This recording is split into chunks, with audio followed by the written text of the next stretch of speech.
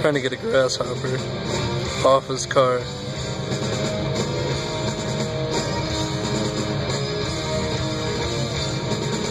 Jesus Christ.